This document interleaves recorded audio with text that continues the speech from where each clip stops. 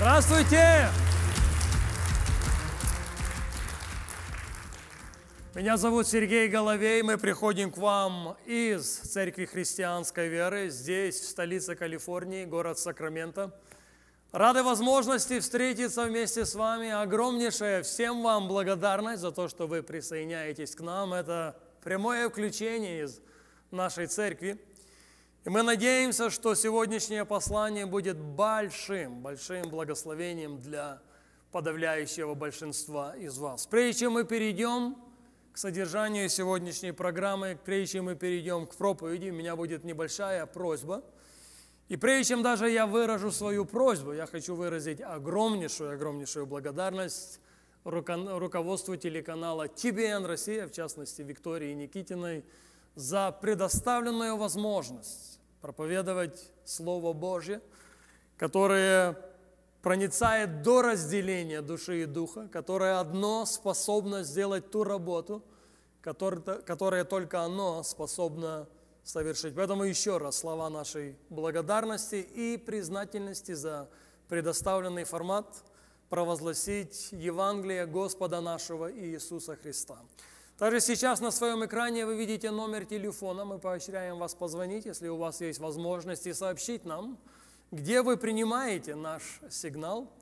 И вместе с этим молитвенные нужды, если они у вас есть, а мы знаем, что они у вас есть. Библия говорит, что многое может усиленная молитва праведного. Позвоните нам, дайте нам знать о своей молитвенной нужде и, быть может, о людях, о которых вы знаете, они проходят через какие-то сложности, через какие-то потрясения.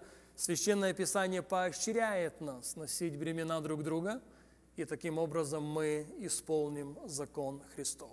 Повторюсь еще раз, мы приходим к вам с прямым сигналом из Церкви Христианской Веры.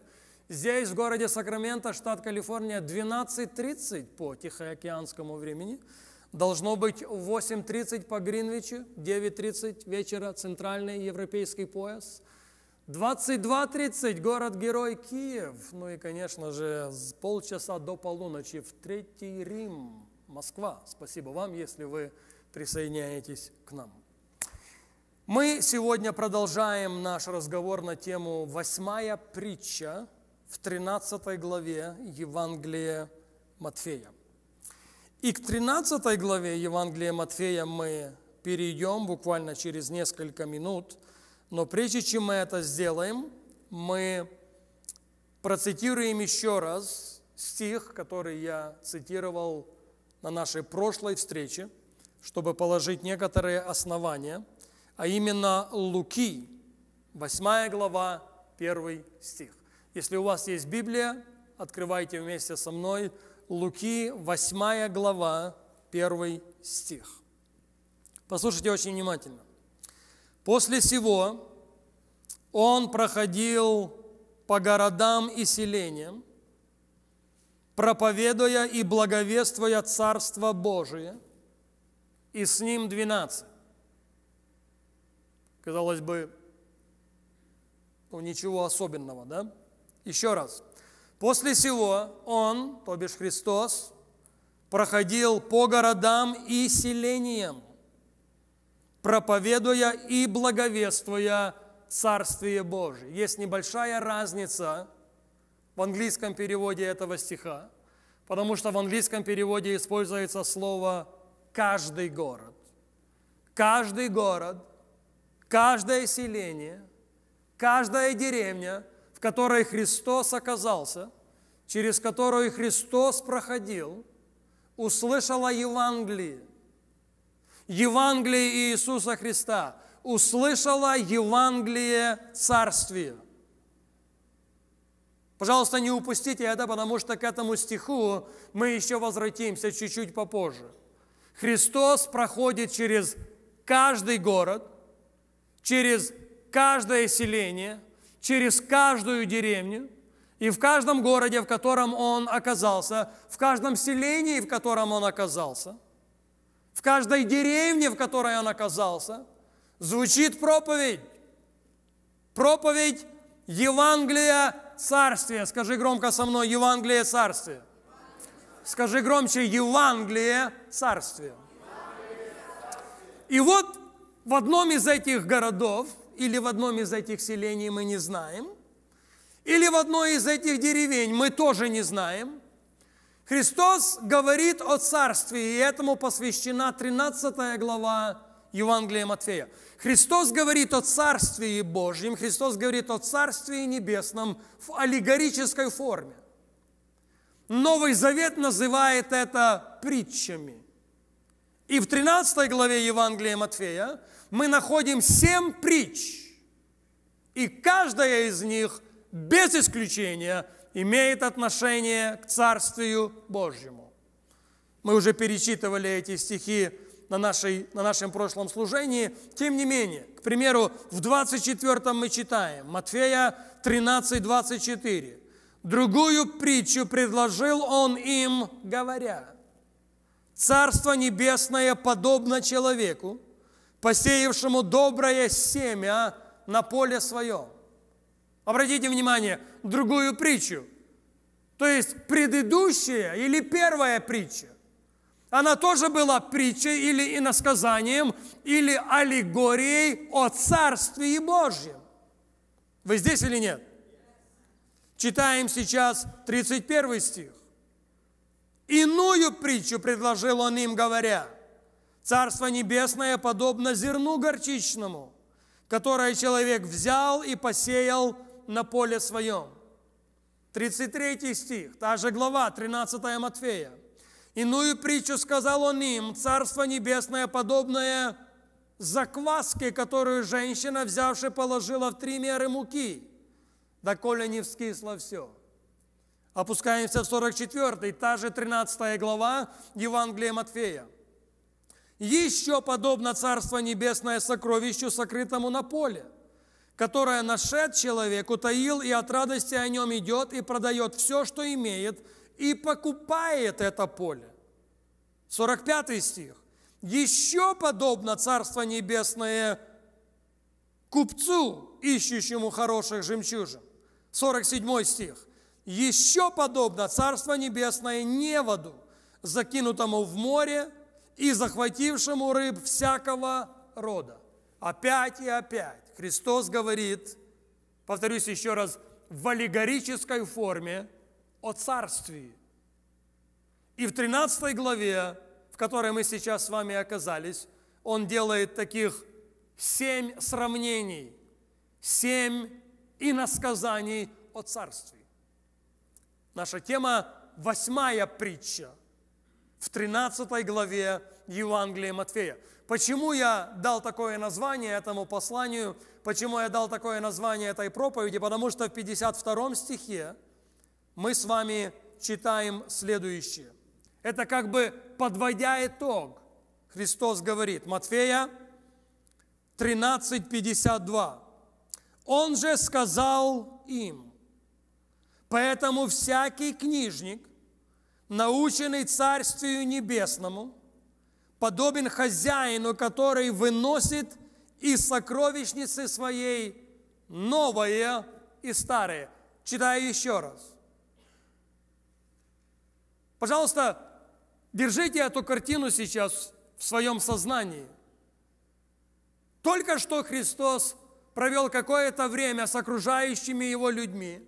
Только что в семи иносказаниях Он сказал им о Царствии Божьем, о Царствии Небесном, и как бы в заключении. Он говорит, поэтому всякий книжник, наученный принципам, о которых сейчас идет речь, подобен хозяину дома, который из своей сокровищницы выносит старое и новое. Я делал это на прошлом собрании и гораздо сделать это сегодня. Я ни в коем случае не претендую на абсолютное знание и понимание того, о чем Христос здесь говорит. Но вот что я знаю. Евангелие, скажи Евангелие – Евангелие Царствия, скажи Евангелие Царствия. Это сила Божия.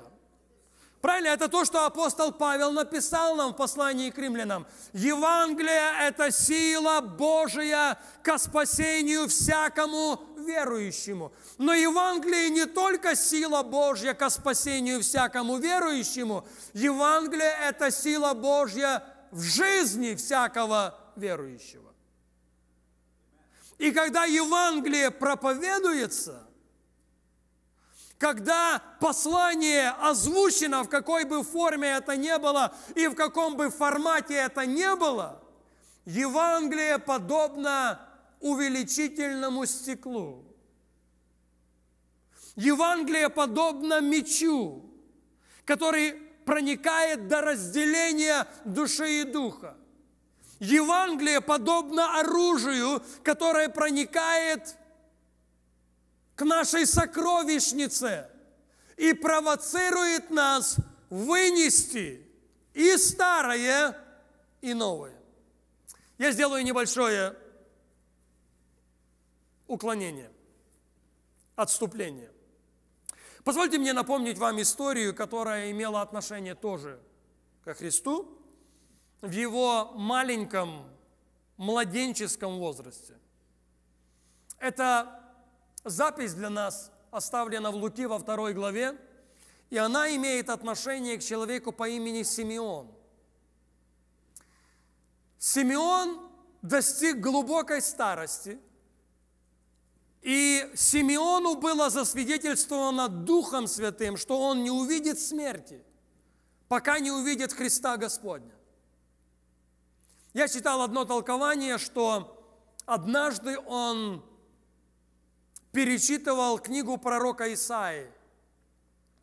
И в седьмой главе, сегодня мы называем это седьмая глава, в его время это не было ни седьмая глава, ни четырнадцатый стих, но когда он был в этом стихе, то, что сейчас именуется Исаия 7.14, «Се дева в чреве примет и родит сына». И он задумался над этими словами. И вот в тот момент, когда он размышлял над тем, что пророк сказал много столетий до того.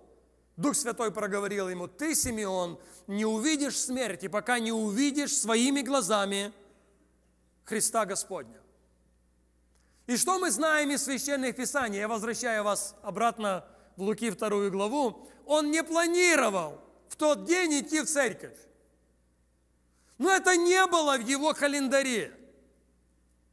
Но когда он проснулся в это утро, что-то начало происходить. Потому что Библия использует следующий язык. Он по вдохновению пошел в храм. Он, может быть, там не было никаких мероприятий. Он просто чувствовал побуждение пойти в тот день в церковь. И я осмелюсь сказать, что принесенный Христос Марией и Иосифом – я не думаю, что был единственным младенцем в тот день. Может, был, может быть, там было много других супружеских пар, которые во исполнение обряда принесли своих детей в храм. И родители Христа, Мария и Иосиф, были одними из тех, которые там оказались. И там оказался Симеон. Я не знаю, какое он имел право. Может быть, он занимал в храме какую-то позицию, быть может, по старшинству лет. Я не знаю. Библия ничего об этом не говорит. Но вот что Библия говорит, что из всего количества или множества супружеских пар, которые могли там быть в тот день, он подошел к Марии и к Иосифу. И он забирает Христа. И когда он взял Христа на руки, он перед ними – произнес следующую молитву. Иосиф и Мария слышат это. И Симеон говорит, Господи, сегодня отпускаешь раба Твоего с миром. Потому что сегодня я засвидетельствовал, что Ты верный Бог. Ты не человек, чтобы тебе лгать, ты не сын человеческий, чтобы тебе изменяться. Я увидел своими глазами – исполнение Твоего обетования. Я держу на своих руках исполнение Твоего обетования. Вот этот ребенок, это свет к просвещению язычников. Вот этот ребенок, это слава народа Твоего Израиля. И Библия говорит в Луки, 2 глава, 33 стих, что и Мария, и Иосиф удивлялись. Они уже до этого много было наслышаны о Христе.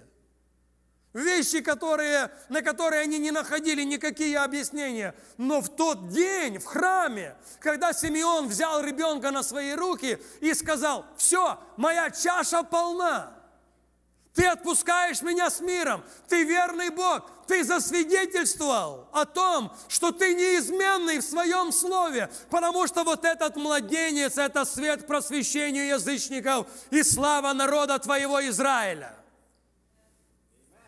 Это хорошая часть пророчества. Потому что потом все продолжилось. И вот к тому, что продолжилось, я обращаю ваше внимание. Луки, 2 глава, стихи 34 и 35. Слушайте внимательно.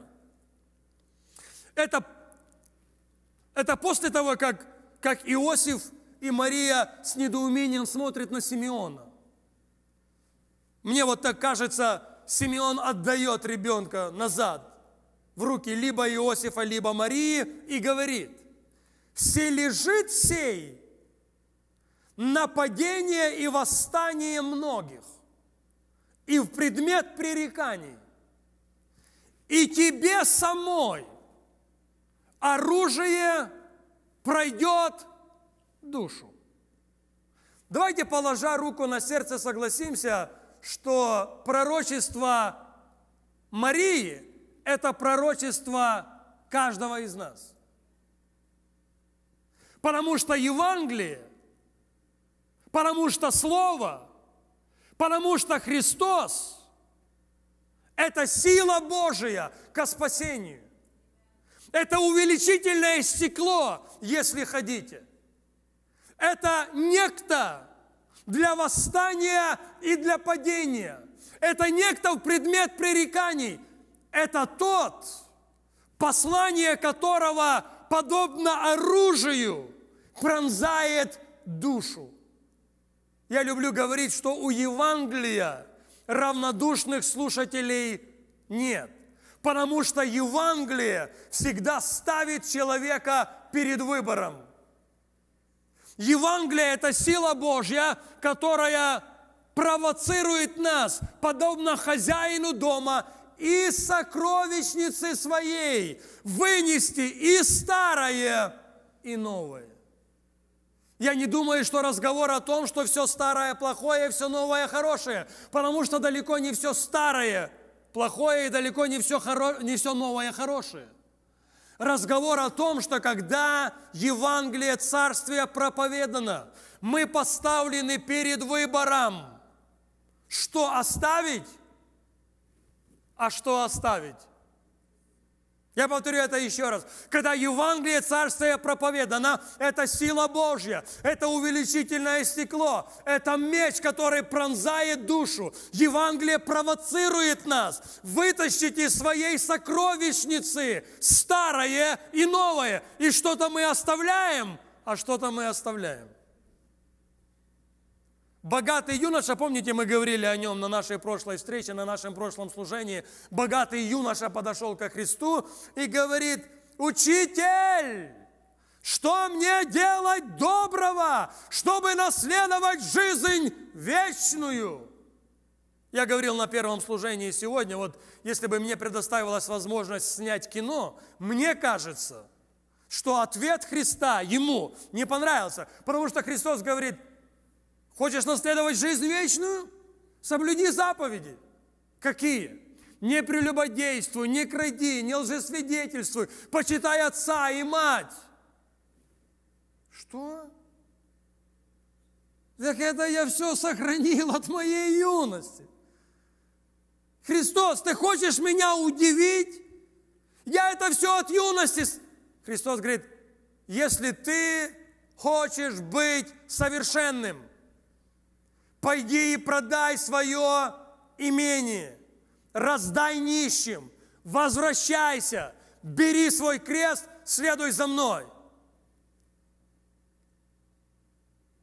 Вы хотите мне сказать, что продажа имения и, раздач, э, и, и раздача имения от проданного бедным квалифицирует нас для жизни вечной? Нет. Есть единственный квалификатор. Это искупительная жертва Господа нашего Иисуса Христа. Но Евангелие – сила Божия. Евангелие – увеличительное стекло. Евангелие – это меч, пронзающий душу. Он сам этого попросил.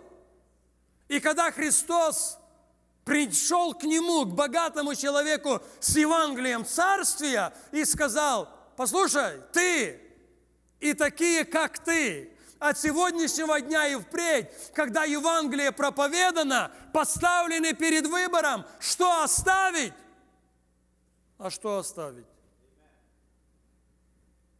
Разговор не о том, он был щедрым или он был скупым. Мы не знаем, был он щедрым или скупым. Но вот что мы знаем. Мы знаем, что слова Иисуса произвели в нем огорчение. И он оставил Иисуса, но оставил огорчение. Нету равнодушных слушателей у Евангелия. Мы что-то оставляем, когда Евангелие звучит, и мы что-то оставляем.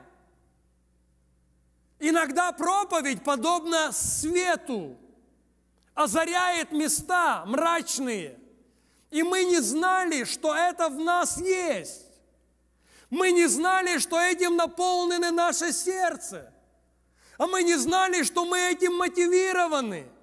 И мы поставлены перед выбором либо оставить, либо оставить. Ученики бесов изгоняли, чудеса творили, голодных кормили, за Христом ходили. И когда Он им сказал, «Я хлеб жизни, ядущий меня не умрет вовек», соблазнились и оставили Христа. Потому что Евангелие, Царствие произвело в них, вскрыло в них то, о чем они даже и не догадывались. У Евангелия равнодушных слушателей нет. Оно всегда производит в нас определенную реакцию. Вы здесь или нет? Так вот, в 19 Луки, в первом стихе мы читаем. Потом Иисус вошел в Иерихон и проходил через него. Казалось бы, небольшое дело, большое дело. Почему? Потому что Луки 8.1, во всякий город, куда Христос и шел, всякое селение, куда Христос направлялся, всякую деревню, через которую Он проходил, деревня, селение, город слышали Евангелие Царствия Божия. Иерихон в списке этих городов. Христос проходит через Иерихон. Иерихону предназначено услышать Евангелие громче. Иерихону предназначено услышать Евангелие. Кстати, Иерихон стал известен по ряду многих причин. Стены Иерихонские пали. Помните историю, да? проклятие Иисус Навин произнес над этим городом. Потом столетия спустя какой-то человек восстановил этот город. Потом мы узнаем о том, что вода была нехороша в этом городе, и Елисей приносит исцеляющую силу Божью на весь город. И вот сейчас Христос.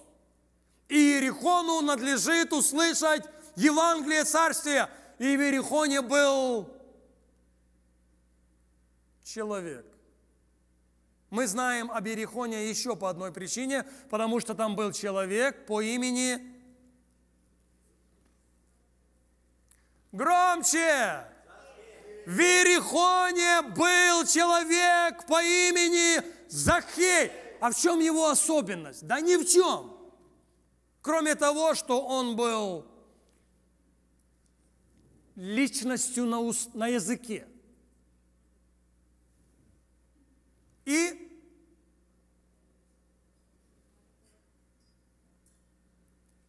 не повезло с ростом. А хотелось видеть Иисуса. И поэтому он сказал сам себе, вот этой возможности я ни в коем случае не пропущу. И что он делает? Он бежит наперед, взлазит на смоковницу, потому что ему хочется увидеть Христа. Христос идет, вот это еще один момент в этой истории. А, а, он подходит к смоковнице и называет его по имени. Мы нигде не находим в Священных Писаниях, Петр оборачивается к Петру, говорит, быстренько узнай, как его зовут. На социальные сети выйди, узнай, где, что, как. Он приходит к нему, тот сидит. Христос говорит, Захей, быстрее сходи, потому что сегодня мне надобно, скажи надобно, надобно быть у тебя. Вот через города он проходил и там проповедовал Евангелие, но не во всяком городе он входил в всякий дом. Но дому Захея посчастливилось, потому что Христос не только в его город вошел, Христос вошел в его дом. И вот они заходят в дом, мы не знаем, он был большим или маленьким. Мы не знаем, сколько людей собралось. Мы не знаем. Ну вот что мы знаем, что Христос превратил дом Закхея в место проповеди Евангелия, Царствия. И Христос проповедует. Быть может, опять о царстве и говорит в аллегорической форме. Мы не знаем, мы не знаем. Мы не... Ну вот что мы знаем. Вдруг среди проповеди вот так беспардонно. Знаете, когда тебя пригласили в гости, хозяин может делать все, что хочет. Он даже может Христа перебить.